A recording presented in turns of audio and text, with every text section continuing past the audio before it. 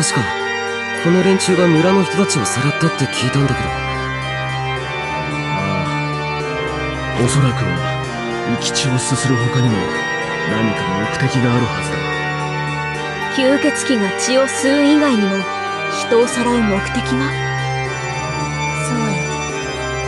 人間には想像も及ばない。はるかに高貴な力の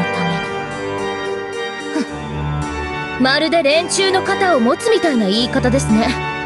私はヴァンパイアじゃない。何度言わせれば気が済むの。シャルル？だって誰か誰か助けて！いやあの声村の人か？ロビーの方です。急ぎましょう